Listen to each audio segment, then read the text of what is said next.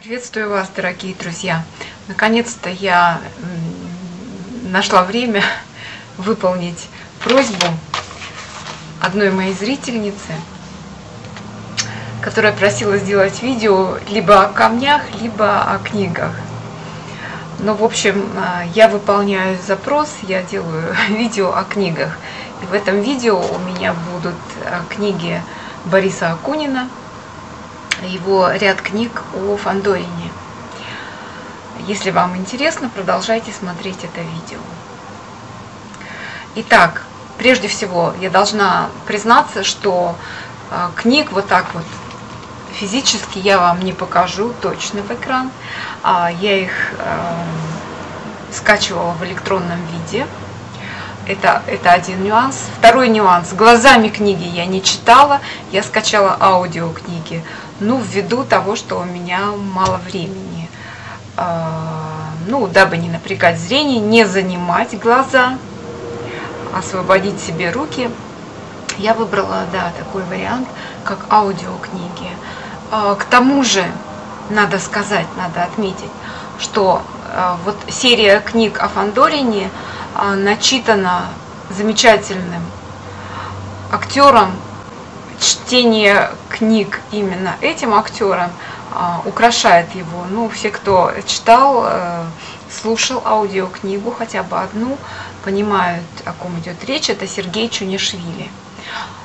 Я не знаю, мог ли кто-то лучше прочитать, но так получилось, что прочитал он. Есть, правда, еще я слышала, видела, а может быть даже и слушала в исполнении забыла Ну ладно, потом вспомню. Значит, пропустим. То есть он не единственный известный чтец, э, чтец, правильно? В общем, не единственный актер, из чьих уст вы слышите повествование Бориса Акунина, а, но, наверное, он самый лучший. Вот. Сейчас я скажу, какие книги я прочитала а, вернее, не, не прочитала, а с, чьими, с какими произведениями, даже в экранизациях, хотя если, если не аудиокнига, то экранизация, я знакомилась. Я специально пошла, потому что раньше до этого я почему-то эти фильмы не смотрела, которые видели все. А в 90-х годах я почему-то пропустила каким-то образом. Ну, наверное, потому что они шли в кинотеатрах или как-то телепремьеры их прошли мимо меня. В общем, я специально зашла и посмотрела эти фильмы. А, это фильмы «Азазель», а, «Турецкий гамбит», «Статский советник». А, вот эти три фильма я просмотрела. Я согласна, кстати говоря, с мнением Адель, что статский советник, в статском советнике Фандорин не тот, как бы ни был хорош Меньшиков, Фандорин не тот. И, на мой взгляд, более точный Фандорин в Азазеле. А в Азазеле очень хорош, молодой. Э, я забыла, как актера зовут. Ну, тот, который домохозяин. Забыла. А, вот.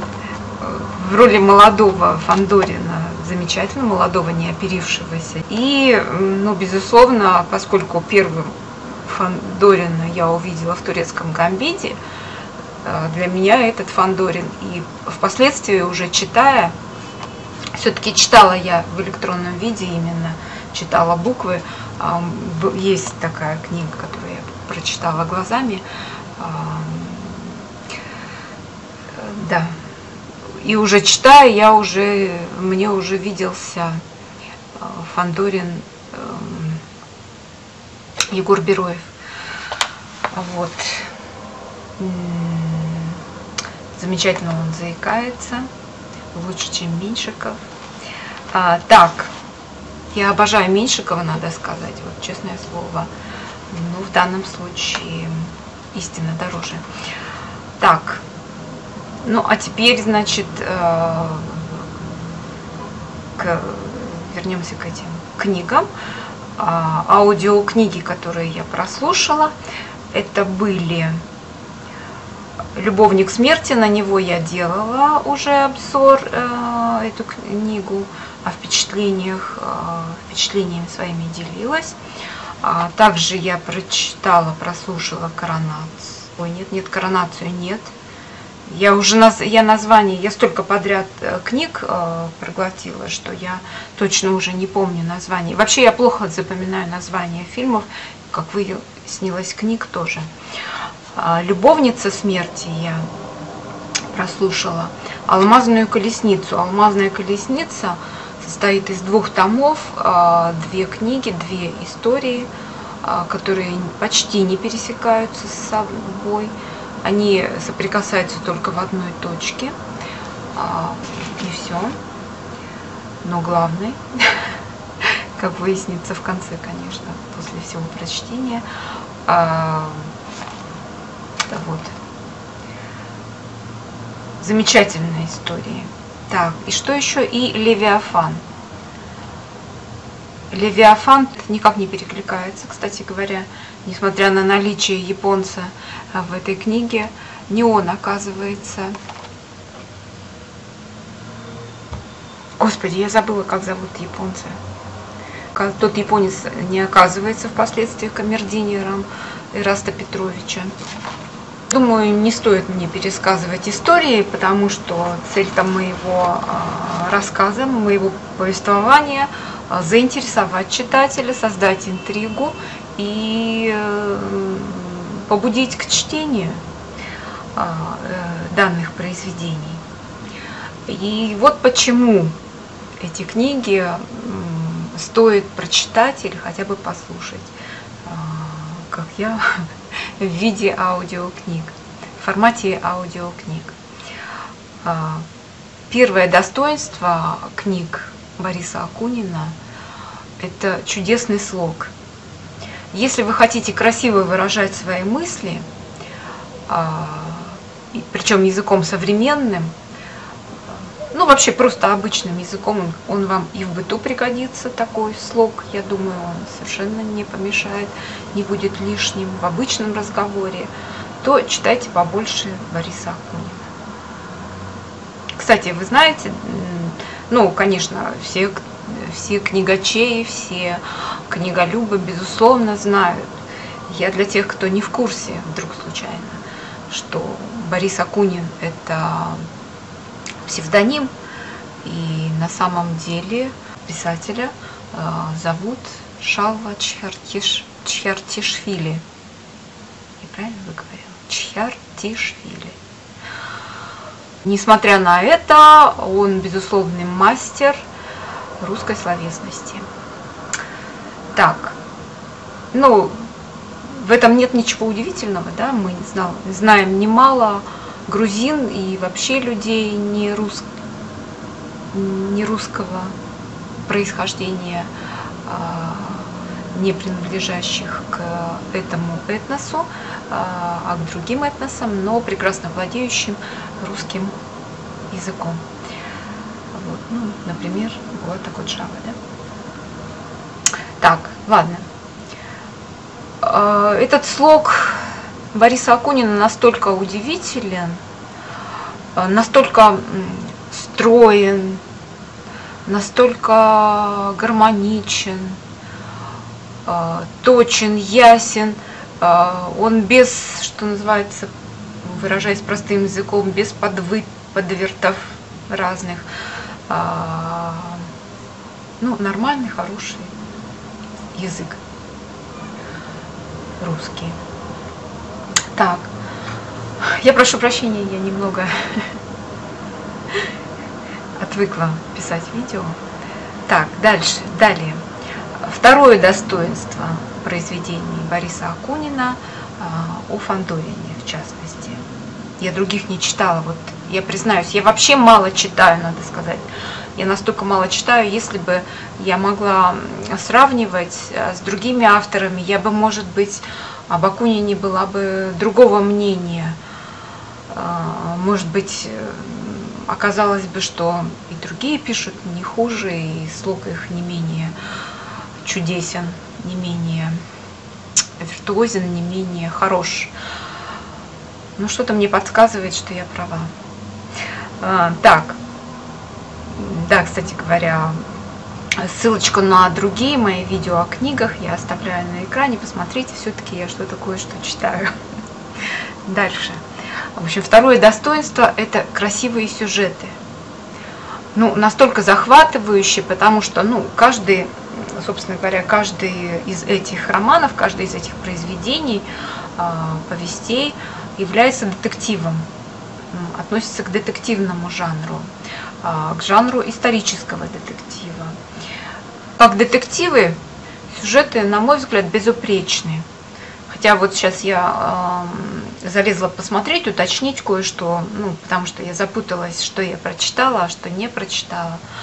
И захожу в чат и тут же вижу, что э, кто-то критикует, что какой-то роман уже на середине романа не понравилось. На середине произведения уже человеку было понятно, кто есть этот тот таинственный э, герой, который, э, над которым все читатели задумались над, над тем, кто это, кто это творит все эти преступления, ну или какие-то там дела, я не знаю, о чем шла речь, я просто увидела, что увидела эти слова, что на середине, в середине произведения или чуть ли не с самого начала читательница уже догадалась, кто это. А, по мне вот эти все сюжеты замечательные, если даже вы догадываетесь а, о том, кто, кто это, кто преступник или кто наоборот таинственный добродетель, таинственный добродетельник, то не думаете ли вы, что это потому, что автор вам уже намекнул, дал такой прозрачный-прозрачный намек, а, поэтому вы догадались. Ну, может быть, если вы настолько умный и умнее автора, то, может быть, догадались, да, вопреки а, намерению автора. Но мне почему-то кажется, что суть э, всего, всего произведения не в этом была, не в том, чтобы а, угадать, чтобы разрешить, чтобы а, догадаться, разобраться, разобрать головоломку самому раньше автора, раньше всех остальных читателей. Вот. А, и кроме того, что, значит, если отставим в сторону детективную, детективность а, сюжетов, то э, давайте обратимся к историчности. На каком материале, где берет... Ну, писатели, да, таковы, они должны найти материал. Этот материал наверняка доступен. Наверное, можно пойти куда-то в архивы, покопаться где-то, порыться в каких-то летописях, дневниках, э, что там еще, вот, протоколах, э, ну, в каких-то документах, и, да, все это прошерстить, да, это, это работа, работа писателя, опираться на какой-то фактологический материал и выстраивать из этого какие-то красивые сюжеты, интригующие, интересные хватающие писателя, хватающие читателя за, ну что там, за нас и ведущие вдоль всего произведения, вдоль всего повествования. А, да, это работа писателя, но какая работа колоссальная проделана. А, конечно, э, когда Акунин пишет про хитровцев, да, а, я, например, да, читала Гелеровского, вижу, что это перекликается произведениями, с литературными произведениями известными, но все равно ведь не каждый так сделал. И не каждому дано а, все-таки построить сюжет. Меня это особенно занимает, а для меня этот вопрос стоит особенно остро, потому что ну, я тоже так хочу. Не знаю, смогу ли я времени остается не так уж много. Надо. В общем, для меня а, Акунин это пример очень-очень заразительный и очень авторитетный. Дальше. Третье достоинство этих книг. Какой же Фандорин душка! Ну просто безупречный герой. А, он не при всей своей безупречности он и человечен, он не лишен недостатков, особенно если посмотреть там в Азазеле, да, какой он, когда он еще зеленый, а, юный, зеленый, не оперившийся, а, когда он уже супермен, ну, например, там в «Любовнике смерти», все-таки и ему свойственно что-то человеческое, ничто человеческое ему не чуждо, и он попадает в конфузы. И тем он а, еще более человечный, еще ближе нам и еще симпатичнее. А, в общем, для чего нам такой герой? Ну, видимо, особенно в 90-е, когда все было темно, серо и не было а, на улицах, фильмах ни одного положительного, безупречного героя, такого аристократичного, должна была возникнуть эта фигура. Я не знаю, кстати говоря, я вообще литературные критики а, по поводу этих произведений не читала, не знакомилась. Может, слава богу. Это вот чисто мое мнение, я сама его рождаю, но с другой стороны, в этом нет ничего оригинального. Это все как бы висит в воздухе и само, по-моему, со мной каждый прочитавший согласится. И четвертое достоинство. Какие героини у Акунина бесподобные. Все эти отважные барышни а, с храбрым сердцем, а, с, такие шагающие, ну вот, не, не, не зря сказала храброе сердцем. Если вы смотрели мультик Храброе сердцем, это когда девочку знатного происхождения, согласно протоколу оборачивают в одежду, заматывают, убирают волосы, как было положено дамам, не показывать ни единого волоска. И, но она все-таки вытаскивает непослушную прядку, не хочет быть такой прилизанной, замотанной, ну, выполняет то, что ей положено выполнить согласно протоколу, но все-таки сбегает в конце концов. Вот барышни Акунина, они таковы ну вот эту Суворову, Маргарита Суворова, я не помню, в, э, турецком гамбите всем известная. Она и есть эм, вот такая храбрая сердцем, э, рыжеволосая девчонка. Э, в алмазной колеснице дамочка, забыла фамилию. Вот память у меня плохая, я напишу на экране все это. Эм, вот эта барышня говорит – сама себе говорит, не бабся. И вот именно не бабся – это один из их девизов. То есть они э, отвергают устои э, моральные, касающиеся э, этого общества, тех взглядов, которые господствуют и сегодня, что женщине место ну, если не на кухне, как бы мы цивилизованные люди, сейчас не каждый рискнет утверждать, что женщина должна быть босая, беременная на кухне. А, но если не так, то в обществе... Ну, один факт тот, что в наших государствах немыслимо, да, чтобы женщина стала президентом, тогда как во многих других государствах женщины уже были главами государств. А, вот. Уже о чем-то говорит. Эм, даже если а, там, где женщина мы закрываем, мы не говорим о том, что где-то у женщин в целом а, заработок меньше мужского, потому что так положено. А, мы не говорим об этом, но даже если все вот считается, что везде равны, что женщин, то женщине все равно чего-то нельзя того же, чего можно мужчине.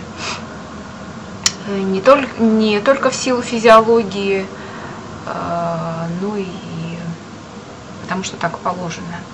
А, так вот, эти героини, они отрицают э, все это, а, они вопреки тому, что...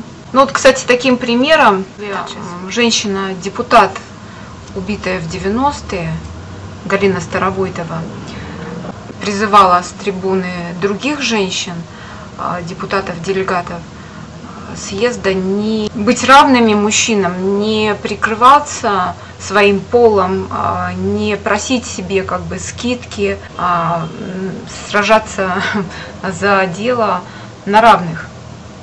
И вот героини а, Акунина, они таковы. Они не хотят быть приписанными к, остальному бабскому сословию, сословию вот тех а, женщин, которые такие которые, которые бабские, в которых бабства много.